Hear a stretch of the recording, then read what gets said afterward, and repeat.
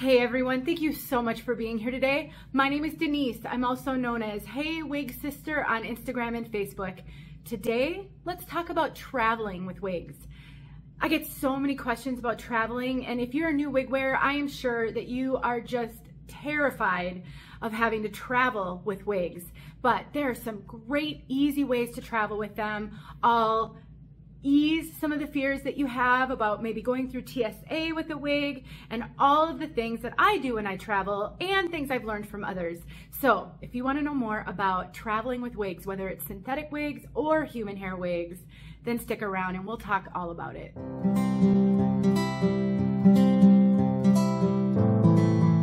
Before we get started, I'm gonna tell you the wig on my head so that you're not wondering this whole video what I'm wearing. This is a human hair wig budget, major budget friendly human hair wig by Emma Hairpiece. It is a permed piece. It is $249 as of the filming of this video. It's a Remy human hair curly wig that is unbelievably priced and I have a 10% off discount code. I've not reviewed this wig yet. I may review it before I put this video out. So go down to the description. I'll have more information. If my review is live, it will be linked. It's amazing and I cannot wait to tell you guys about this wig. And it's I'm wearing it because it's relevant to this video as well. All right, now we can move on to the video. The first thing I'd like to address before we talk about packing wigs and how to travel with them is uh, one of the biggest fears of new wig wearers is whether or not their wig will set off the alarms when you go through the TSA x-ray machine. I have never had that happen. I've worn wigs through TSA a few times. I haven't traveled a whole lot by plane since I've been wearing wigs and it's never happened to me. But I do a ton of research before I film videos like this so that I can understand what others' experiences are with things that I share. I'm one person with a limited amount of experience, but I can pool that with a lot of other people's experience and tell you what I found. And here's what I found. I've never seen anyone say that their wig set off the x-ray machine alarms. I've watched other videos here on YouTube. I've been in tons of Facebook groups. This is a super common question. And whenever I see the question asked, I read through the answers to see what people are saying. And if your wig is going to set off the x-ray alarm through TSA, it would be so incredibly rare that I wouldn't worry about it. Now, wigs do have some metal in them. Sometimes wigs have like metal combs Sometimes they've got clips. Sometimes a lot of synthetic wigs have little metal stays in the ear tabs. That is such a small amount of metal that it just doesn't really set off the alarms. If for some reason you have a different experience, I would just ask them to give you some privacy. Find out first what's setting off the alarm. They can usually pinpoint it. It might be from the neck down, and then it's not your wig. If it's from the neck up, you could just tell them you suffer from hair loss, you're really embarrassed. Could you have some privacy if they'd like you to take your wig off? they may not make you take your wig off. And if they do, I think that they will probably be compassionate, but this is not something that I've ever experienced and I've never seen anyone experience it. The only thing I will caution you, I did see one woman share once that she proactively told them she was wearing a wig and they wanted to check it. So I wouldn't volunteer that information, just wait and see what happens overwhelmingly, every answer I've ever seen has said it's not been a problem. Another question related to this that I get asked is regarding your ID picture and the hair that you're wearing. I honestly, my ID picture, I was wearing a blonde wig and I don't actually wear blonde very often and I've never had an issue. But if you're concerned about it, I would just make sure that you wear a wig that's similar to your ID picture. It doesn't have to be identical, just something similar so that it doesn't look drastically different, but people change their hair. So it wouldn't be unusual for them to see someone whose hair doesn't match their ID picture. But if you're worried about it, just match it up as much as you can and it shouldn't be an issue. All right, now that we've addressed the biggest fear that a lot of new wig wearers have, let's pack for our trip. When I first started wearing wigs, I only wore synthetic. For the first three years, I only wore synthetic. Heat friendly and regular, all synthetic. I do find traveling with synthetic to be much easier than traveling with human hair. That's my preference. That may not be your preference, And so I want you to be cautious whenever you hear someone talk about these things. We're often giving our experience and our preference, but there may be other experiences and other preference. One thing I do is a lot of research, like I said earlier, to make sure that I kind of understand the, the topic, and then I can share both what I've learned and what I've done. So here's why I think synthetic wigs are the easiest to travel with. Because you can store them in a bag, like a Ziploc bag, and they are going to be fine. And all you're going to have to do is take them out of the bag when you get to your destination, shake it out, and throw it on. Could not be easier. If it's curly, the curls will be intact. It's baked in. If it's straight, it's gonna remain straight. You don't have to worry about bed head or the need to restyle. I personally love traveling with synthetic. I just put them in the Ziploc bag. I get all the air out. I usually travel with like four or five wigs because I never know what I'm gonna wanna wear. And they take up little to no room in these bags. A couple of considerations. Some people don't like to use plastic or don't like to use Ziploc bags. You can always purchase a silk bag to put your wig in. Um, most human hair retailers will include a silk bag with the, your purchase. This is a stacked, um, stacked hair bag because it came with a wig I purchased from Stacked. This silk bags are great for, for storing human hair wigs. You can certainly get some for your synthetic as well if you don't want to put them in a Ziploc bag. Let's talk about the logistics of how to pack them in the bag. So some people like to pack their wigs inside out when it's in the bag. So I have this one inside out right now. That will prevent some of the friction and static because most of the cap is on the bag and not the hair. So that is a valid way to pack your synthetic wigs. And if you have a long wig, let me, I don't have a long synthetic, but I do have a long human hair. So let me demonstrate. So the short one, easy, just turn it inside out. But if you have a long one, you can turn the cap inside out and then you can take the hair and tuck it into the cap and then stick it inside the bag so the hair is protected.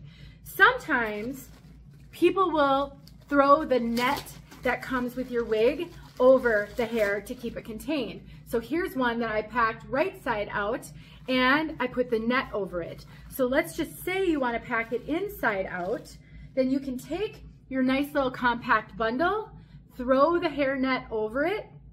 Um, human hair don't always come with these nets, but synthetic do. And there you go. You've got yourself a nice little package, and then you can stick it in your bag, and you're good to go. Sometimes people will travel with their wigs, and they'll put the, um, the paper that usually comes with a brand new wig, they'll put that inside the cap and then wrap it up.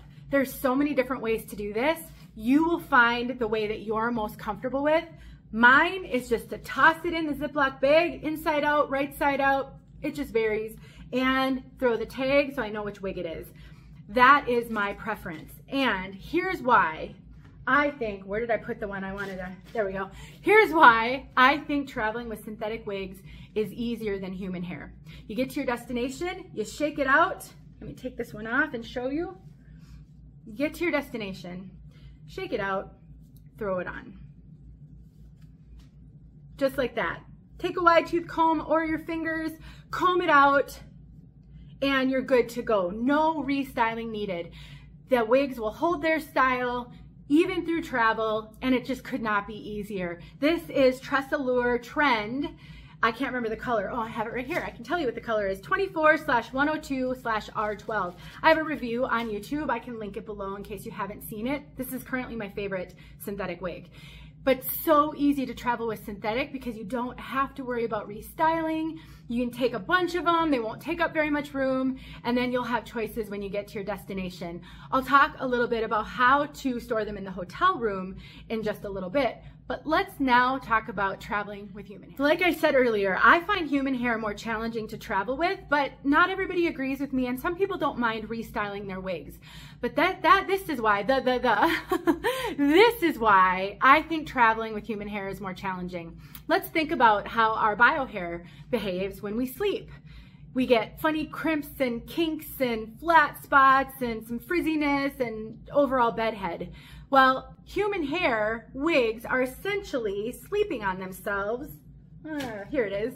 When you put them in a bag. So you're going to get to your destination and you're gonna take, this is stuck on the comb right now, you're gonna take your wig out of the bag, whatever you stored it in, and it may have funny flat spots. If you curled it prior, the curls may not be the way that you had them when you stuck it in the bag. And so you may find yourself having to restyle the piece. One option would be to wear your human hair wig for the travel. If you're to bring both human hair and synthetic, wear your human hair and store your synthetic. Another option, and I do have a travel thing to show you in a sec, but another option would be to get a curly human hair wig. If you can wear curly hair and you, um, you know, you like curly hair, then a curly human hair wig is so easy because all you have to do is spray it with water and maybe use a little curl enhancing or frizz uh, fixing product that's super little and easy to carry with you, scrunch it up and revive those curls. You don't have to have a curling iron or a flat iron or a hot comb or any of the styling tools that you might need to use. You don't have to have those with a curly wig. So curly human hair wigs, to me, they're kind of next to synthetic in ease of travel because reviving the style is super, super easy. But if that's not an option for you, then I think another thing that you can think about doing, first of all, you'll always want to make sure that you do pack I'm throwing everything on the table here and I can't find it half the time. You do want to make sure you pack it in a silk bag, not a Ziploc bag. This is going to protect that investment much better when it comes to human hair. There is another option though. They sell these travel bags. I'm going to make sure everything that I can link below will be linked. Um, they sell these travel bags. They come with what looks like a pants hanger inside the bag. And there's a little hole. It's like a garment bag for a wig. There's a little hole at the top. You can stick your hanger, clumsy hands here. You can stick your hanger right through the hole. My goodness, you guys, too clumsy right there. And you can clamp your wig into it, zip it up, and now you're good to go. This is an option. I not a huge fan of this option because I find it challenging to find a good spot to clamp it. Some people take their wigs and they fold them in half just like this and then they stick the clamp on here. You know, with different types of cap construction, that might not be ideal. So it could be an option depending on the type of wig that you have and, and your preference. So I wanted to mention it. Something else that's an option. I just purchased this a wig travel bag. Now, this might be considered an extravagant purchase for some of you, but for those of you who travel a ton and you bring wigs with you and you drive on your travels. I think this isn't super practical for traveling on an airplane, especially these days when you're so limited what you can carry on, because it's pretty much gonna take you up your carry-on and maybe all you can have with you then is a purse. But let's take a look inside this and I can explain why I think this is a viable option for you to try. All right, so I purchased this on Amazon and it does come in multiple colors. But basically you unzip it and inside you can have a wig head. This did not come with the foam wig head, so you'll have to buy that separately. But this is a great way, let me back up a little bit, to store your wig upright so that you don't have to worry and this wig needs to be restyled. This is not like this because of this. I just picked the wig I've been wearing most lately. But you just get it styled the way you want it. And what I love is that this comes out. So this is how it comes without the wig head. It comes just the bag and it has this strap that you can use or not use. It also has a carry handle on top. But you get yourself a foam wig head and then you take it, you put your wig on there and then you just slide it. Oops, I slid it back in here. Forgot I did that. Put it on, slide it into your carry-on it's a lot easier if I can look at it straight on, just like that. And I'll turn it so the hair is behind. And then you can just close it back up. Now, if you're gonna travel with some wigs and bags, you could, let me grab a wig in a bag, hang on. You could take your bag and you could stick it in with this wig like that, and then this could be your wig bag. I really wish they had some extra storage or maybe even a pocket on the front. So if there's one out there like that, that would be awesome. But that's one way to travel with a human hair wig and keep the style. The other thing that I think is a benefit to this, one of the challenges when you get to the hotel, which we'll talk about in just a moment, if you have to restyle a wig and you don't want to do it on your head, how do you do that? Well, look at the stand. It just, it, there you go. So you've already got your wig head with you. It's on a stand. Now you can curl this hair. It's not gonna, it's not super stable. So if you're gonna be tugging on it a lot, you're gonna want to hang on to it. But now you can curl your wig or straighten your wig and it doesn't have to be on your head. So you got a double bonus here. Now I understand that is probably overkill for a lot of you, but I wanted to show it because I think all the information is helpful and will help you make the right decision for you. If you're going to travel with human hair, that could be a huge time saver for you in not having to redo a style completely. Uh, again, I'm not sure that it's practical on a plane, but a road trip, it could be a great option. And the final thing I will say regarding traveling prior to the hotel, I recommend you carry your wigs on with you. Don't check your wigs in your suitcase if you're checking it, because if that suitcase gets lost, your wigs are lost with it. And if there's a chance that your carry-on will need to be checked at the gate, because that can sometimes happen, I would just make sure you have a bag that will not be checked, like a duffel bag that you're taking on, or a big purse, or something that you can stick your wig in that you will be able to have with you at your seat. Even a carry-on can sometimes need to be checked. So keep those wigs with you. Don't check them. Let's talk about what to do with your wigs once you get to the hotel. So when I would travel with synthetic wigs only, my favorite way to store my wigs was upside down on clips like these, or if the hotel has a pants hanger in the closet that has the little clips like this on it, I would store my wigs on that. I just take the wig and if it still has the tag, I hang it upside down and I just run the clip through the tag if the wig doesn't have the tag anymore, then I just stick it on the nape of the wig. And then I hang it over the shower, um, in the closet, on the closet rod, wherever I can hang it. And if you have the pants hangers, I can typically hang two wigs per pants hanger, but I always bring these just in case. And this to me is the most convenient, easiest way to store synthetics. Hanging them upside down will not give it tremendous amount of volume. It just isn't the nature of how synthetic wigs work. What I like about this is it allows the cap to air out and gravity hits the fibers just a little bit different when it's hanging upside down and that can help maintain the style. You can just keep the synthetic wigs in the baggie if you want to because they're so easy to shake and go, but I tend to like to hang them up. Now, if you're concerned at all about housekeeping, uh, absconding with any of your wigs, then you might want to think about another way to store them when you're going to be away from the room or put a do not disturb sign on the door. But I typically have not worried about that. But I haven't really traveled with human hair, expensive, expensive human hair yet. So I have left my wigs just hanging and it's never been an issue. But I want to address something that we should at least pause and think about. So that is one way to store your synthetic wigs.